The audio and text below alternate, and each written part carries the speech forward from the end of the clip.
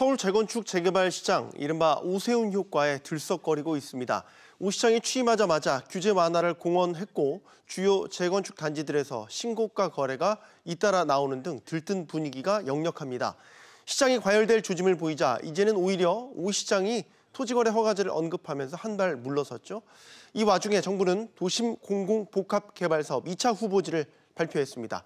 정부와 서울시가 마치 경쟁적으로 공급 카드를 꺼내드는 모양새입니다.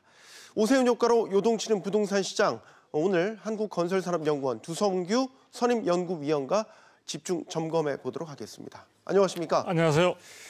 재건축, 재개발 단지들 위주로 최근 집값이 많이 올랐다 이런 뉴스들이 많이 전해지고 있어서요. 네. 실제 현장 나가 보시면 단지 분위기가 어떤지부터 전해주시죠. 네, 그동안 이제 한국 감저 아, 한국 부동산 원의 발표에 의하면 사실 부동산 시장은 상당히 안정세를 보이고 있다. 이게 이제 정부의 공식적인 어떤 입장이었다고 볼 수 있습니다.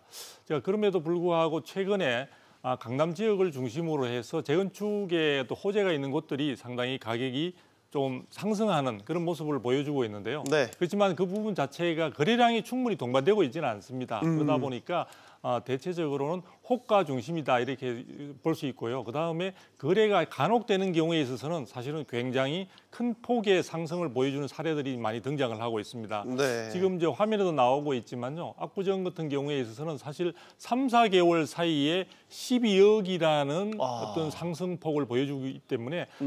저 아파트가 고가라는 점을 감안하더라도 상당히 상승폭이 눈여겨볼 만한 정도로 큰 폭이라고 볼 수 있죠. 그런데 저게 이제 거래가 굉장히 많은 것은 아니고요.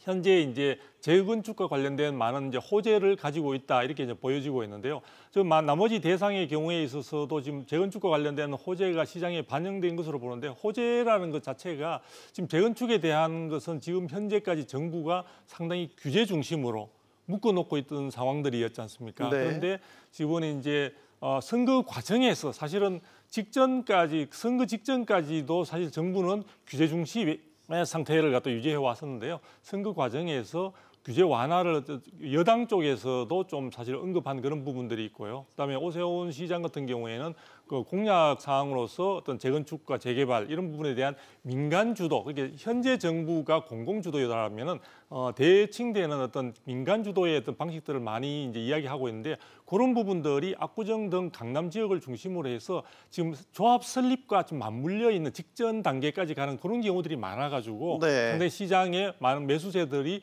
관심을 보이고 있는 단계다 이렇게 볼 수 있습니다. 그래서 현재는 그런 부분으로 인해서 강남 지역이 가격이 급등하고 있다 이렇게 보기는 좀 힘든 것 같고요. 어, 지금 4월 첫 주에 한국 부동산원의 부동산 시세를 보더라도 서울 같은 경우에는 어, 0.05% 상승한 것으로 나타나는데요. 강남 지역의 경우에는 그보다 좀 더 높은 그런 모습들을 보여주고 있기 때문에 일단 시장에서는 관망세 속에 매도자도 사실은 매물을 회수하거나 시장을 좀 더 지켜보자는 쪽으로 호가를 올린 쪽의 어떤 양상들로 이어지고 있고요. 매수 쪽에서는 지금 당장의 매수보다는 시장에 있어서 정말 오 시장이 이야기하는 규제 완화가 정부와 어느 정도의 그 발걸음을 맞추면서 시장에 좀 반영될 수 있느냐 하는 부분들을 추후 좀 살펴보는 그런 서로 암중모색하는 그런 단계가 네. 아닌가 싶습니다. 알겠습니다. 어, 최근 이제 뉴스들을 보면 강남 재건축 단지 위주로 어, 신고가 보도가 나오긴 했습니다. 계속해서 연달아 이어졌죠. 어, 집값이 다시 재건축 단지들을 중심으로 들썩거릴 조짐을 보이자 오세훈 시장이 최근에 어, 토지거래 허가제 네. 얘기를 했습니다. 네. 특히 지금 뭐 토지거래 허가제가 시행되고 있는 뭐 송파라든지 강남 지역 네. 연장될 수 있다라는 것을 어, 시사를 했죠. 네. 취임하자마자 규제 완화를 얘기했다가 토지거래 허가제를 얘기하니까 어 이건 뭐지라는 생각도 사실 드는 게 맞기는 한데 네. 뭔가 시장이 과열될 조짐을 보이자 한 발 물러섰다 이런 느낌도 갖게 되고요. 어떻게 보십니까? 아, 네, 제가 보기에는 뭐 한 발 물러섰다기보다는 이제 아무래도 속도 조절을 조금 하시는 쪽으로 선택을 한 것 같고요. 네. 조금 조심스럽게 이제 선택을 하는 것이 아닌가라는 저는 긍정적인 편으로 지금 보고 있는데요. 일단 현재 정, 어, 오 시장이 이야기하고 있는 것은 기존 정, 정부에서 이야기하고 있는 어, 재건축 재개발과 관련된 사실은 공공 주도 방식 부분에서 민간 주도 방식으로 이제 바꾸고자 하는 것이고 규제 완화라는 것을 갖다가 많이 언급하다 보니까 시장에서는 과하게 이제 환영하는 그런 측면도 있는 것 같습니다. 네. 그런 부분으로 인해서 시장이 굉장히 좀 들썩이는 그런 부분들을 나타내고 있는데요. 오 시장은 당초의 경우에 이제 스피드 공급을 하겠다, 굉장히 빠르게 이제 신속하게 공급을 하고 그 부분들에 있어서 사실은 임, 오 시장이 현재의 보궐선거로 인한 임기 자체가 그렇게 긴 시간이 아니거든요. 네. 그리고 짧은 시간 내에 그래도 가시적인 좀 성과를 내야 된다는 그런 부분들도 지금 그동안의 언급 속에는 이제 반영이 된 것 같은데요. 이런 부분들이 그나마 강보합의를 하더라도 좀 안정세를 보이던 시장을 갖다 서울 시내의 부동산 시장을 들썩거리게 만드는 요인으로 작용할 수 있다는 세간의 여러 가지 좀 우려들도 좀 많이 나오고 있는 것을 좀 감안한 것 같습니다. 그래서 약간의 어떤 속도 조절을 이야기하고 있고요. 나름대로는 그런 부분들을 감안해서 어, 지금 토지거래 허가제 등을 통해서 시장에 있어서의 더 투기적 세력의 유입이라든지 또는 가격 부분에 과다한 상승이나 이런 부분들을 조금 억누를 수 있는 그리고 사실은 토지거래 허가 구역으로 어, 묻게 되면은 실거주 요건으로 해서 2년간 거의 거래가 할 수밖 할 수가 지금 제한되는 그런 부분들이 있다 보니까요. 네. 토지거래 허가제를 들고 나온 것으로 지금 보여집니다. 그래서 상당히 어떤 보면 시장 상황을 고려한 적절한 선택으로 보여지는데요. 문제는 토지거래 허가제가 아, 우리가 지금 이야기하는 대로 정부가 그동안 토지거래 허가제를 어, 대치라든지 잠실 그다음에 몇 대 청담 등등 해서 몇 군데 지금 시행을 해 왔습니다. 아마 제 정부 시장이 좀 들썩거릴 그 조짐을 보이고 있기 때문에 네. 재지정이 될 것으로 보이는데요.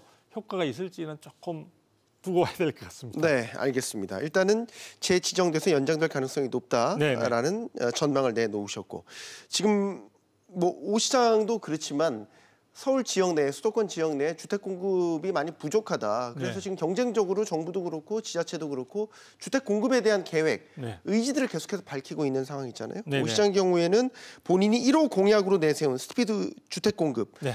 여기에 대한 방책으로 가로주택 정비 사업을 선택을 했습니다. 네네. 이게 보통은 이제 미니 재건축이라고 불리던데 네. 어떻게 보십니까? 이 가로주택 정비 사업 네. 어, 대안이 될 수 있다고 보십니까?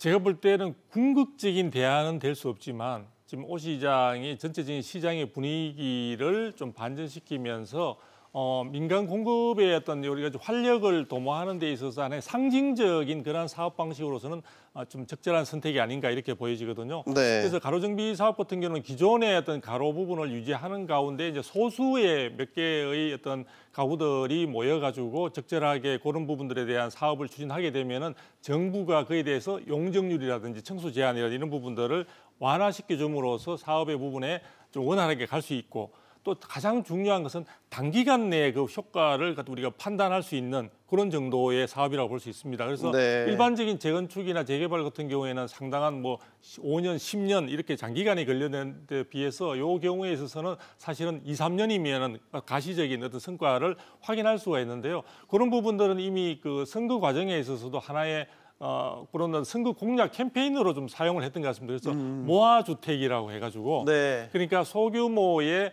한 다섯 가구, 여섯 가구가 모여가지고 그런 부분에 대한 것들 계획을 해가지고 하게 되면 그러니까 다섯 가구가 모아서 그런 부분들에 대한 사업 계획을 갖다 이야기하게 되면 정부가 그 부분들을 적절한 사업 테마라고 적, 어, 선정을 하시게 되면은 그 부분에 대해서 용적률을 더 영어로 모아 그러니까 조금 더 이제 사실은 용적률을 부여하고 네. 부담을 줄여주는 그런 식으로 해서 단기간 내에 뭔가 어, 성과를 이룰 수 있는 그런 쪽이기 때문에 아마 지금 오세훈 시장이 말하는 스피드 공급에도 좀 부합이 되면서 가장 중요한 것은 아마 이런 가로정비 사업은 규모가 크지 않고 소규모다 보니까 주변 시장에 있어서 미치는 영향이 아마도 좀 제한적이지 않느냐. 즉, 어, 재건축이나 재개발처럼 규제를 완화하는 것으로 있는 시장의 과민 반응으로 인해서 가격이 들썩이거나 부동산 시장이 불안해지는 것을 갖다가 피하면서도 어느 정도 어, 공급이라는 그런 요소를 갖다 상징적으로 좀 보여줄 수 있는 그런 방안이라고 보여집니다.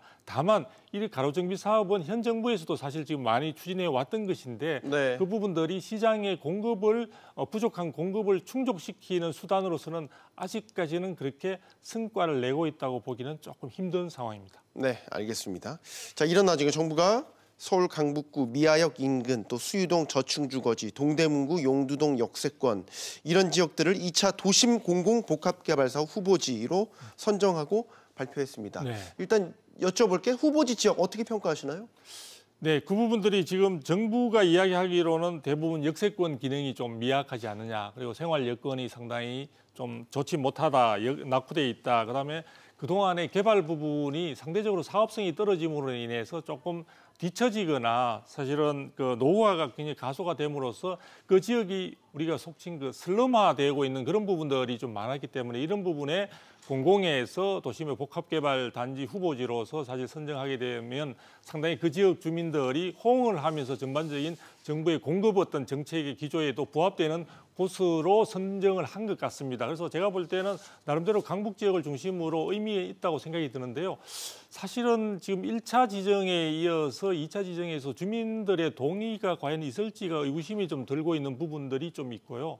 그 다음에 문제는 해당되는 지역 자체가 과연 어, 지금 정부가 이야기하는 도심 복합 개발의 적절한 대상이냐, 현장 확인이 되었냐 하는 부분들에 대한 음... 의구심이 들고 있는 것들이 나타나고 있습니다. 그래서 네. 미아 3구역인가요? 그쪽의 경우에는 이미 역세권을 중심으로 해서 상당히 새로운 신축 주택들이나 빌라들이 많이 완성이 돼 있고 도로도 정비가 되어 있는 상황인데 네. 해당되는 지역 주민들조차 왜 우리가 여기에 포함됐지라는 음. 의구심을 보이는 경우도 있기 때문에 실제 아마 어 그게 이제 구청에서 추천한 단, 어, 지역들인지 아니면은 정부가 충분히 현장 확인을 했는지 부분에 대한 의구심도 지금 나오고 있는 상황이라서 주민들의 동의 여부를 떠나서 어떤 객관적인 어떤 평가 대상지로서 적절했냐에 대한 다소 조금 조사가 좀 불충분했다는 이야기도 나오고 있습니다. 음, 네. 그래서 이번에 어쨌든 13곳이 지정이 되었는데요. 그 부분에 대해서 일차적으로 후보지로 선정되기 위해서는 주민의 10% 동의가 있어야 되는데 그 과정도 사실은 험난하지 않을까라는 전망이 되고 있습니다. 그러니까 영관님 말씀이 틀리지 않은 게 앞서 우리 정광윤 기자가 현장에 나가서 네.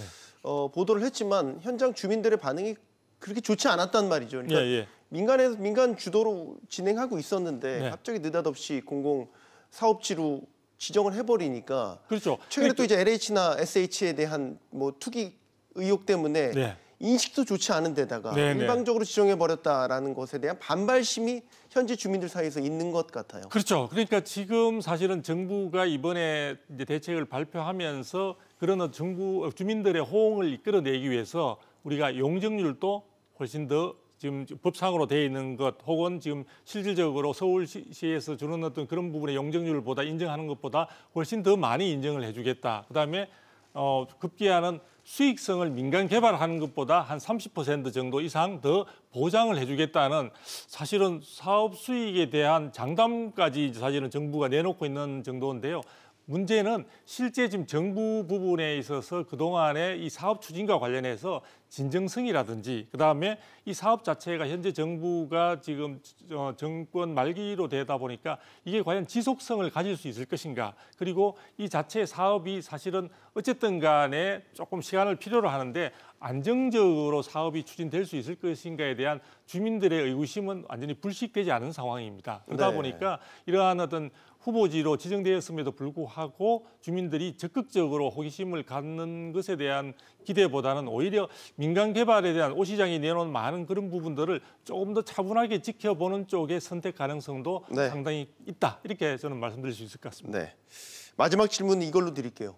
예정에 없던 질문이긴 한데 네. 요즘 워낙 논란이 됐기 때문에 오세훈 시장이 취임 후에 처음으로 국무회의에 참석했는데 네. 그 자리에서 공시가격 얘기를 했습니다. 네. 공동주택 공시가격 국토부가 독자적으로 결정을 하는데 네. 지자체가 권한을 갖고 같이 참여하게 해달라. 음. 그리고 공시가격 너무 급하게 올랐다. 네. 어, 협의해서 동결할 수 있도록 하겠다. 뭐 이런 네. 얘기까지 했단 말이죠. 네, 네. 세금과 관련된 문제이기 때문에 워낙 논란이 많이 음. 됐었고 감론들박이 치열한 부분이어서 네. 연구님 견해는 어떤지 마지막으로 여쭤보고 싶습니다. 네, 지금 공시가격의 산정과 관련해서는 여러 가지 많은 문제점들이 제기되고 있는데요.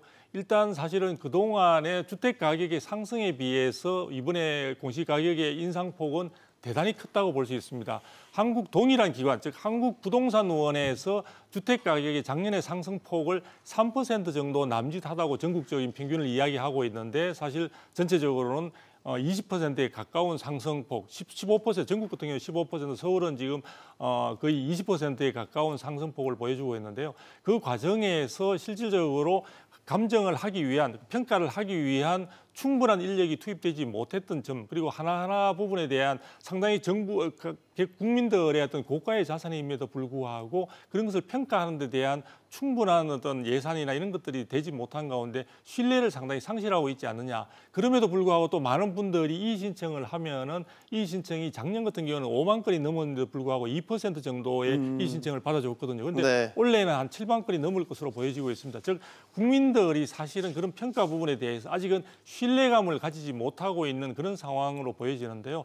여러 가지 지금 오 시장이 지자체로서 할 수 있는 부분에 대한 역할 부분을 강조하고 있는 것을 우리 감안할 때 곧 지자체로 넘기느냐 하는 부분은 추후에 검토돼야 되지만 제가 볼 때에는 한국 부동산은 즉 국토부와 지자체가 사실은 저 서로 어떤 역할 분담 등을 통해서 국민들이 더 신뢰할 수 있는 그런 공시가격 산정 제도로 보고더 좀 개선되는 쪽에 검토가 필요할 것으로 보여집니다. 알겠습니다. 오늘 여기까지 듣겠습니다. 두성규 선임연구위원이었습니다. 고맙습니다. 감사합니다.